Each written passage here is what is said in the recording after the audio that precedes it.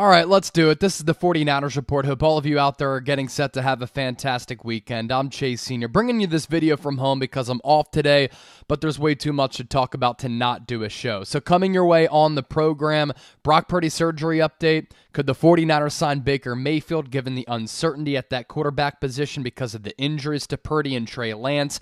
And we're going to do a 49ers draft meetings tracker for the first time to take a look at who San Francisco has met with at the NFL Combine and some of the All Star and Bowl games so far. First, make sure you subscribe to the channel here. The 49ers Report is 70 people away from 79,000 subscribers. If you're unfamiliar with us, we do shows. I do shows every every single day here on the channel. So if you want to stay up to date with all things Niners year round with daily videos, make sure you subscribe and lock us in by hitting that sub button down below.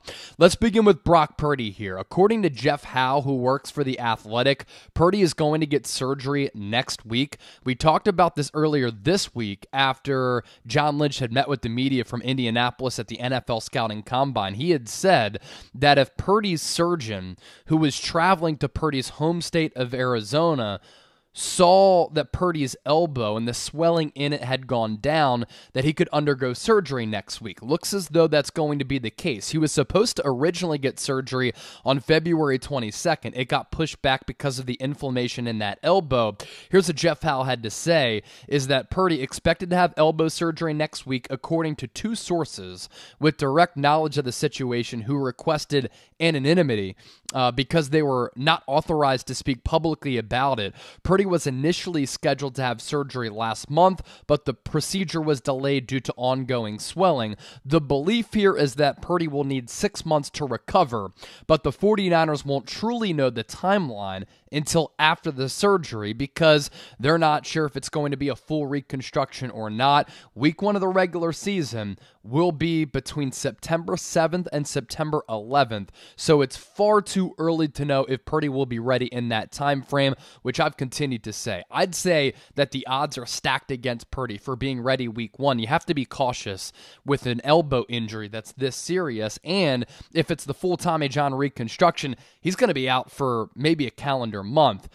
Howe continued by saying that could put Trey Lance in line to start the opener for the second consecutive season. He had two surgeries, though, on that ankle injury. He's expected to return to action for San Francisco during their offseason workout program in the spring. So, this 49ers roster, it's loaded with talent basically everywhere.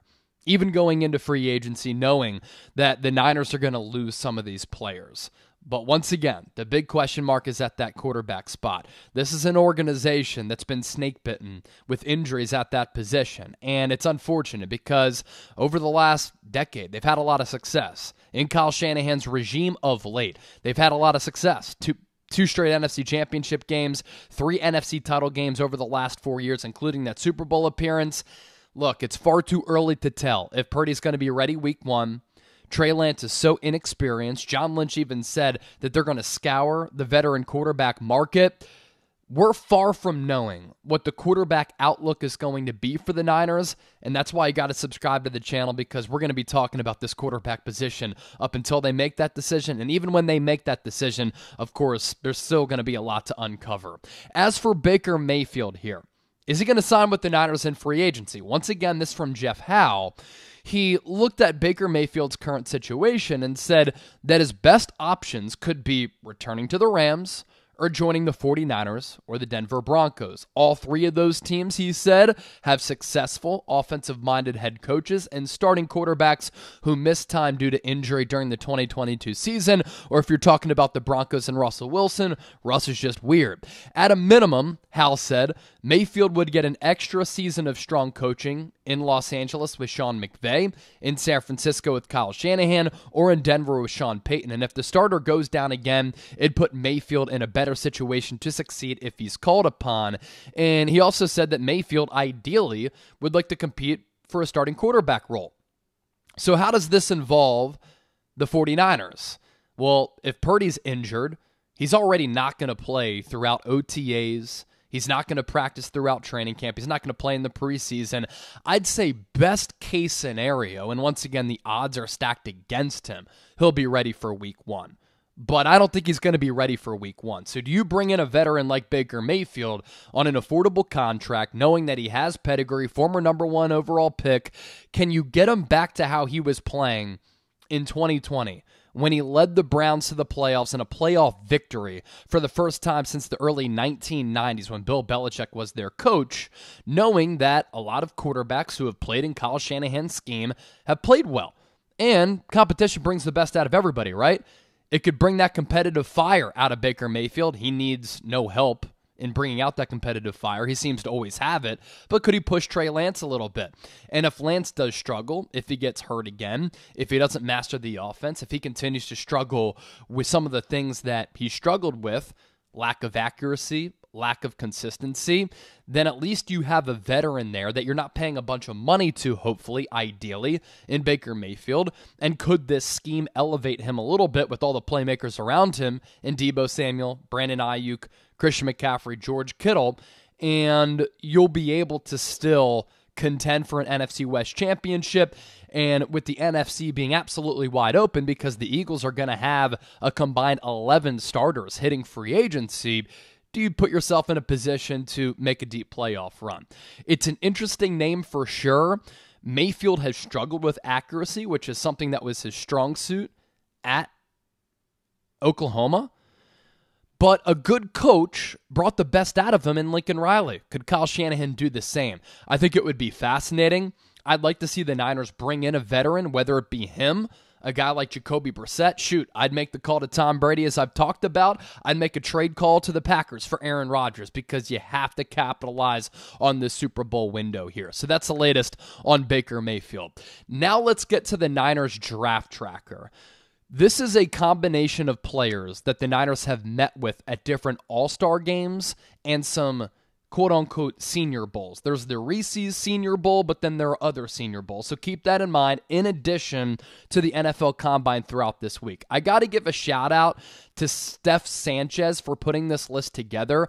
I'm going to put the link for her tracker. It's a Google Doc, an Excel sheet in the description of this video. And on that, there's credit to everybody who's reported on some of the Niners meetings with some of these players up to this point.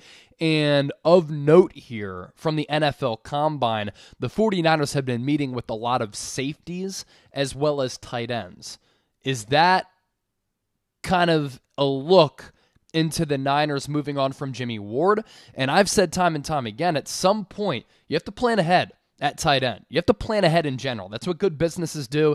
That's what good football teams do. You have to try to find the George Kittle replacement for when he either becomes too expensive, too old, or if he goes down with an injury. Because tight end, too, has been a problem with this football team for a little while. San Francisco seems to agree, meeting with a lot of tight ends so far. So, shout out to Steph for putting this together, as well as Brad from SF Niners. Not only is he an offensive line guru, him and Steph have been killing it for content creators from the NFL Scouting Combine. We have a team there at the Combine as well. So, also shout out to Tom Downey and Sam Brown, boots on the ground doing work in Indy. So, the 49ers have 11 picks in the 2023 NFL Draft. Here are those selections. No picks in the first round, no picks in the second. Could they trade up? In the second round, maybe. The cost for trading up in the first round would be too much, I believe. Three consecutive picks in the third round 99, 100, 101. You can get some starters there and really good players. You have three picks in the fifth round 157 overall, 166 overall, and 173 overall. A pick in the sixth, 216, and then three seventh round picks 224, 249, and 255. So that's 11 total picks in this upcoming draft. And for the 49ers, yeah, it's unfortunate. You don't have a first rounder, you traded that away for Trey Lance. You don't have some other draft capital or a second rounder because you traded those away for Christian McCaffrey, which ended up being worth it because McCaffrey was stellar. But for this organization with John Lynch, Adam Peters, and then formerly Ran Carthon, they've been able to identify and pick some really good players on day two, day three. And they're going to have to continue to do that because when you pay big money to some players like Trent Williams, soon Nick Bosa, hopefully soon Brandon Aiyuk, Fred Warner, George Kittle, the list goes on, you need to be able to find impact players on their rookie deals. Talanoa Hufanga, Deommodore Lenoir, Hopefully in 2023, a Drake Jackson. That's the power of having a quarterback on their rookie contract. Brock Purdy, Trey Lance. That's why those picks are so critical. And that's why it's a strength for the 49ers, and hopefully it continues to be a strength. So, here are all the players who the 49ers have met with, either at the combine or at some of those bowl and all star games. There's a lot of them. So, sit back and here you go. Safety Alex Cook from Washington, cornerback Jaleel Brown from Central Connecticut, linebacker Austin Ajiake, I believe is how you say it, from UNLV. If I mispronounce that, I apologize. Linebacker DaShaun White from Oklahoma. Defensive tackle Jack Daly from Bryant. Defensive end Keshawn Banks from San Diego State. Linebacker Otis Reese from Ole Miss. Running back EJ Burgess from Franklin Pierce. Running back Taj Davidson from uh, Taj Davidson I think from Langston.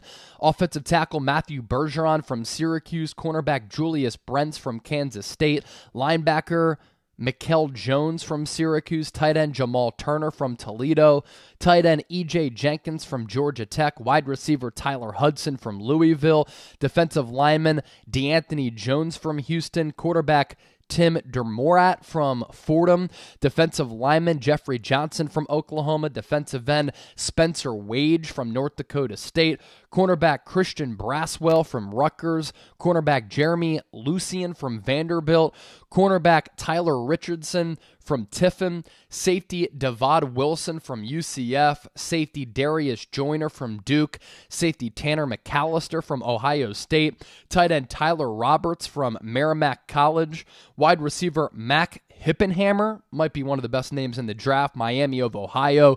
Quarterback Fred Payton from Mercer. Wide receiver Joshua Okekuchu. That is terrible pronunciation. Fort Hays State. Linebacker Deontay Johnson from Toledo. Running back Ellis Merriweather from UMass. Offensive lineman Kevin Toot from Pace University. Defensive end Marcus Haynes from Old Dominion. Linebacker Muhammad Diabate from Utah. Or Diabate. Defensive lineman Deshwan Johnson from Toledo, defensive end Kai Thomas from Colorado, defensive lineman Jamar Edwards from James Madison, defensive end Philip Huff from Nevada, defensive tackle Wes Moyeye from Rocky Mountain College, running back Casimir Allen from UCLA, linebacker Vendarius Cohen from Maryland, wide receiver Nico Remigio from Fresno State, cornerback Dennis Barnes from UTEP, linebacker Abraham Bouplan, Beauplan from Marshall, uh, a fullback edge, which is very, very interesting. Derek Parrish from Houston. Wide receiver Thayer Thomas from NC State. Defensive lineman Viliami Fehoko from San Jose State right out there in the uh, Bay Area. Defensive lineman Tavius Robinson from Mississippi. Defensive lineman Byron Young from Tennessee. Linebacker Cam Jones from Indiana. Defensive lineman Nesta Jade Silvera from Arizona State. Defensive lineman Zach Pickens from South Carolina. Defensive lineman Dante Stills from West Virginia. Defensive lineman DJ Dale from Alabama. Defensive lineman Isaiah McGuire from Missouri. Defensive lineman Ikenna Enechukwu from Rice. Again, some of these pronunciations I'm butchering. Linebacker Jaiden Woodbey from Boston College. Defensive lineman 80 Tomiwa Ede Bawore from Northwestern. The chances I got that right, 5%. Linebacker Jalen Graham from Purdue. Tight end Daniel Barker from Michigan State. Center Shiron Rogers from Southeast Missouri State. Safety Jammie Robinson from Florida State. Safety J.L. Skinner, interesting prospect out of Boise State. He has crazy length. Safety Daniel Scott from Cal. Safety Ji'Ayir Brown from Penn State, a player who I really like. His instinctual feeling of the game is fantastic. You might have to trade up into the second round to get him. Third round, he'd be awesome value. Gervarrius Owens from Houston, wide receiver Jonathan Mingo from Ole Miss, wide receiver Dontayvion Wicks from Virginia, wide receiver Puka. Nacua, I believe, from BYU. Uh, wide receiver Tank Dell from Houston. Really like him as a player. Tight end Davis Allen from Clemson. He talked about George Kittle, we put that up on our shorts page on YouTube, him talking about him and some of these other players uh, from the NFL Scouting Combine. Their interviews available on YouTube Shorts as well, TikTok style videos on the YouTube channel. I love this one. Quarterback Dorian Thompson Robinson. I mentioned him several weeks ago. Ideal backup to get late. I wouldn't mind Jake Haener or Stetson Bennett. As of right now, by the way, the 49ers haven't met formally with Jake Haener. So, somewhat interesting there. Defensive back Jay Ward from LSU, Mekhi Blackman, the defensive back from USC, Darius Rush from South Carolina, defensive back, Riley Moss from Iowa. He's a defensive back as well. Defensive back Alex Austin from Oregon State. Tight end Sam LaPorta from Iowa. He speaks with George Kittle often. He said that in an interview that we did with him from the scouting combine. That's up on YouTube Shorts. Tight end Zach Kuntz from Old Dominion, Demario Douglas, the wide receiver out of Liberty, tight end Josh Whyle from Cincinnati, Brenton Strange, the tight end from Penn State. Dude is a load at that tight end spot, huge and physical. Quarterback Jaren Hall from BYU. Shout out to Steve Young.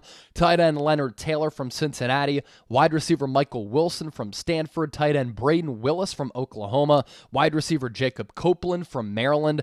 Jason Brownie, or Brownlee, excuse me, from Southern Mississippi. He's a wide receiver as well. Jake Bobo from UCLA, another great name there. Grant DuBose from Charlotte, a wide receiver. Andre Iosivas from Princeton. Shout out to the Ivy League. My dad went to Brown. Unfortunately, as you can see with these pronunciations, I didn't get that Ivy League knowledge. Defensive back Anthony Johnson from Iowa State. Defensive back Anthony Johnson from Virginia. He's Anthony Johnson Jr. Wide receiver Jalen Wayne from South Alabama. Cameron Latu from Alabama. I put that interview up on my Twitter page at Chase underscore senior. Wide receiver Xavier Hutchinson from Iowa State. Safety Tyreque Jones from Boise State. And cornerback Kahlef Hailassie from Western Kentucky. That complete list is also in the description of this video. Uh, keep in mind that the NFL Combine schedule today, defensive backs and special teamers were set to work out. Tomorrow, it's quarterbacks, wide receivers, and tight ends on Saturday. And then Sunday, running back and offensive linemen. So the 49ers haven't had interviews or those players haven't released information at those respective positions outside of DB if they've interviewed with the 49ers or not. So, once again, uh, if I butchered some of those names, I apologize. I will be better. I promise you that. But wanted to give you a full breakdown of the 49ers draft tracker right here on the show. Don't forget to subscribe and keep it locked here on the 49ers Report for videos every single day. We appreciate all of you for watching. Hope you all have a great Friday and a great weekend.